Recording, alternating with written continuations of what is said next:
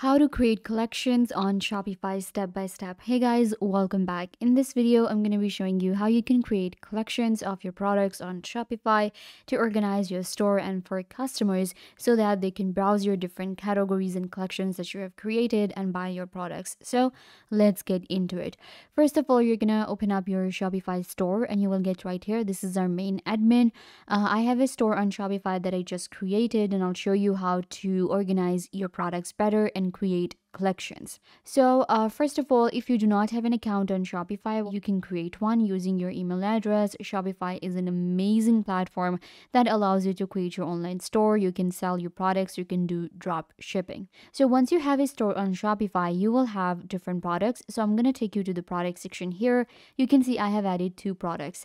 Now, I can add more products here, and let's say these are actually two very related products, but I'm going to add another one very quickly. So let's add a product here and then we will add, uh, we will divide our products into categories. So I'm just going to quickly create a product here. So you can see I have added more products on my Shopify store. Uh, now these kind of product are pretty different. We have two hoodies here, then I have a dress, I have a t-shirt. These are completely different categories that I sell and different collections that I created. So how to actually uh, display that on my store? For that, you can see we have the product section here and under products, we have collections. So you just have to go to the collections right here. Now we have a homepage collection already created. This is the kind of uh, uh, you know collection that is uh, default and it's shown in our homepage. To create a new collection, you will get the option right here. You can see at the top it says create collection. Click on it. And now we have to create a collection here. Give your collection a name. This one is actually a winter hoodies. So this is what the collection is called. Now I'm going to add some description. So once you've added the description, you can move on to the collection type. So here we have to select a manual, add a product to this uh, collection one by one or automated. So I'm going to actually go to the manual here and we can select different, uh, you know, products or what we can do is uh, we can select a condition. So I will go to the manual here. And then we have our search engine, which says the winter hoodies, and this is our, you know, domain. So here we have the collection availability, point on sale or online store. So I will be selling it on my online store here. Collection image. So we can add an image for the collection. That's what I'm going to do. I'm going to click on add image and select the image from my computer. So this is the collection image. It represents what we have in the collection. And then we have the online store. Now you have to click on save and a collection will be created. So this is our first collection that we created and it is known as winter hoodies. I'm going to create another. You can see I haven't added any product yet. We will add the products from this section here.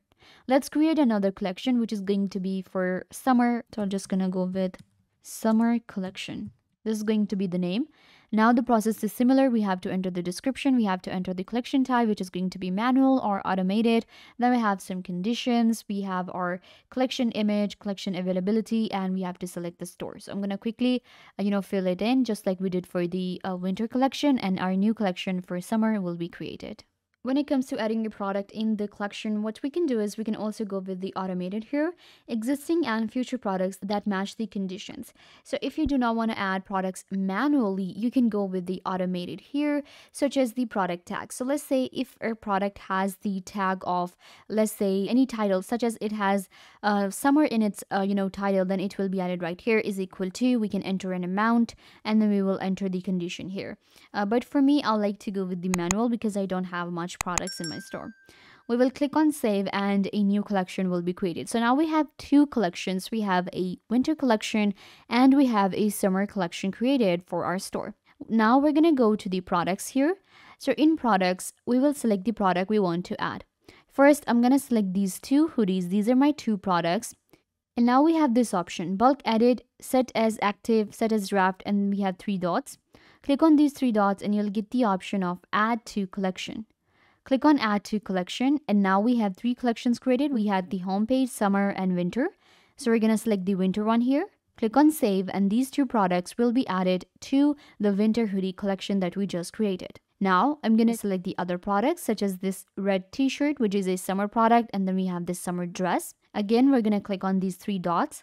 Click on add to collection and this time I will be selecting my summer collection. Click on save and these products will be added to the summer collection. So if I take you back to my collections now, you will be able to see the number of products we have. So my winter hoodie collection has two products right here. You can see if I open it up, it will showcase the products now. So it has two products here and this is the product list. I can browse, we can sort. So this is how the product list is created. And if I go back and show you the summer collection, so open up the summer collection, and again, it has these two products that we just created. These collections can be uh, shown on your website, on your store that you have. So for that, we actually go to the uh, store. Here we have online store, and we can open it up. So you can see here, uh, we can customize our Shopify store and we have our add section. So what we do is we click on the add section here and it allows us to add a collection. So you can see collection list. So I'm going to select it and now you can see we have a collection list added here. It will show the all of the collections that we have in our store, um, such as the summer collection and the winter collection we just created. So this is how uh, we create collections within our Shopify store. Similarly, with the products, you can also keep track of your inventory and make sure uh, that you have the right products in a collection. Uh, it also depends on the status. You can customize the product right here in the product section and then you can go to the collections. If you want to delete a collection, then it's actually really easy. You can select the collection from here and then we have edit collection, uh, make collection available. We have these three dots and it gives you the option to delete a collection. Uh, if you want to edit a collection, you can do that anytime you want to. You just select again, click on edit and it will open it up for you. The total number of products will be shown right here and then we have this plus button that allows you to create a view. So you can actually create different types of views, you can add different types of filters, and you can sort your collections very easily. Uh, then again, if you want to create a brand new collection, you can just click on create collection and we can create multiple collections within our Shopify store. So it's actually really easy. First, you will create the collections here and then you can select the products and add them to your desired collection and they will be added and your customers will be able to browse your products easily and buy them. So yeah guys, this brings us to the end of the video. I hope that I was a big help to you and now you know everything that you wanted to know. And don't forget to uh, share this video with your friends and family members so they can also get the information they want to. Also, you can subscribe to the YouTube channel. The button will be given right down below go ahead and subscribe to the YouTube channel.